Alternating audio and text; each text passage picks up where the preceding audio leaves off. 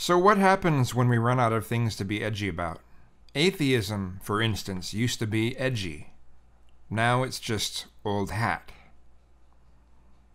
The discussions about feminism versus anti feminists and SJWs versus anti SJWs, it's old hat. So, what's next? You can't talk about Trump negatively because the Trump supporters will say that, oh, that's all old hat too. Okay, fine. What is interesting now? What's interesting and edgy?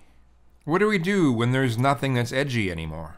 It used to keep social media going. Now it's just people being mean to each other. So, what do we have left?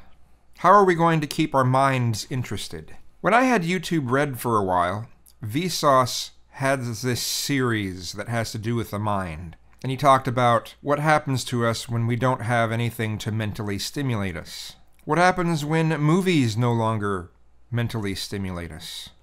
Well, we need something edgy. Well, what's edgy now?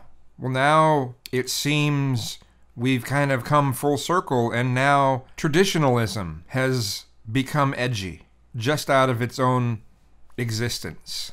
So that's where people are headed now. You can't make something not edgy. If you try to decry it, it will just be considered edgier. So, what next?